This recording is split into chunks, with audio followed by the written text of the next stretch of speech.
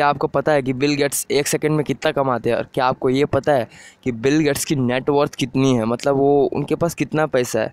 अगर Bill Gates की एक सेकंड में कमाने की बात की जाए तो वो तीन सौ अस्सी डॉलर लगभग अट्ठाईस हज़ार आठ सौ और उनकी नेटवर्थ की बात की जाए तो उनके पास एक सौ पाँच बिलियन डॉलर है। इंडियन रुपीज़ में बात की जाए तो लगभग लगभग आठ lakh crore. Can you believe it अगर आपको ये जानकारी अच्छी लगी तो लाइक कीजिए सब्सक्राइब कीजिए। यार ये नया चैनल है। आ, आपको इस पर बहुत सारे फैक्ट और अमेजिंग से इनक्रेडिबल से वीडियो मिलने वाले हैं। फिर डोंट फॉरगेट टू सब्सक्राइब